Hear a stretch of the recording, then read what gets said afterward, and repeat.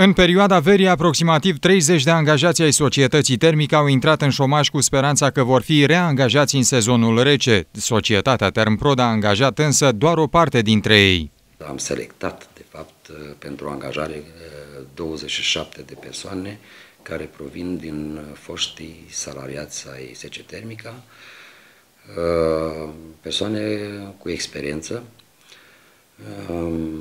care Timpul fiind atât de scurt, uh, trebuia să aibă experiența necesară pornirii unui sistem centralizat.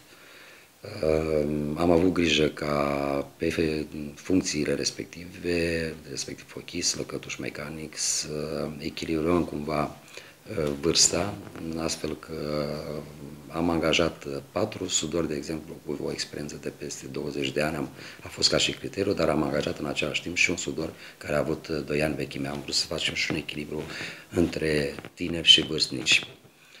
Deci, la ora actuală, sunt 27 de salariați, inclusiv TESA. Directorul societății spune că nu întrevede noi angajări în perioada imediat următoare.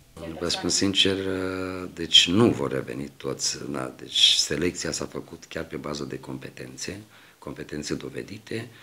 Evident și ceilalți au la fel de mari competențe și experiență, dar nu. Deocamdată, la acest moment, nu estimez o nouă perioadă de angajări.